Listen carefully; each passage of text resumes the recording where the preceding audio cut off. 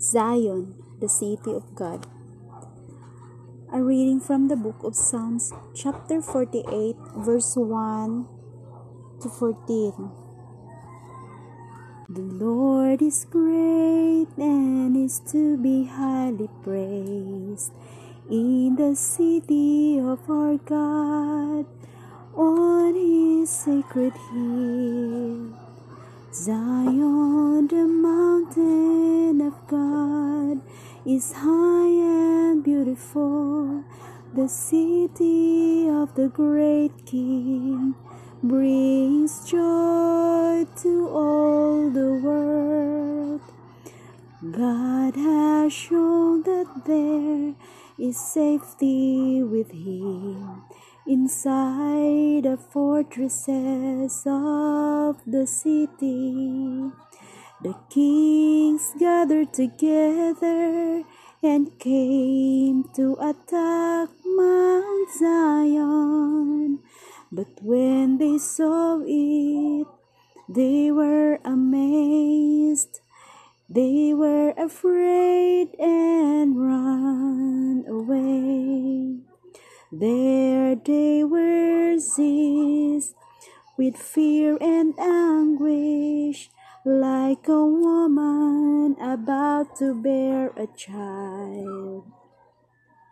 Like sheep tossing in a fur furious storm. We have heard what God has done, and now we have seen it in the city of our God, the Lord Almighty. We will keep the city safe forever. Inside your temple, oh God, we think of your constant love. You are praised by the people everywhere, and your fame extends over all the earth. You rule with justice. Let the people of Zion be glad. You give right judgments. Let there be joy in the cities of Judah. People of God, walk around Zion and count the towers.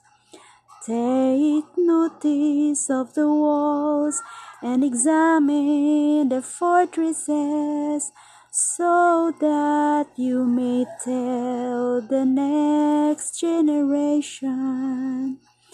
This God is our God forever and ever. He will lead us for all time to come.